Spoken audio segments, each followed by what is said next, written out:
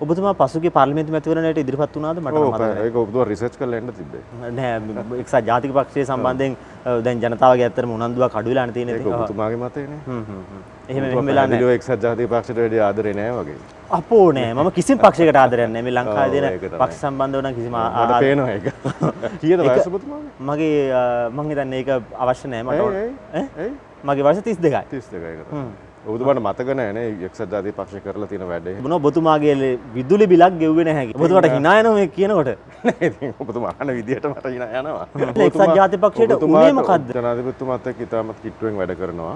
හැබැයි අපිට පේන්නේ නැහැ එහෙම කිට්ටුවෙන් වැඩ කරන ගෝඨාභය රාජපක්ෂ මහතාට මොකද්ද උනේ? ඔබතුමා කියන්නේ පෙරටුගාමී සමාජවාදී පක්ෂයට සම්බන්ධ ශිෂ්‍යෝ තමයි මේ ගිනි තැබීම කළේ. ඔබතුමාට පේන්නේ නැති වුණාට මට ඒක මෙවැනි වීඩියෝ නරමන්න දිවයින ඔන්ලයින් YouTube චැනලේ සබස්ක්‍රයිබ් කරන්න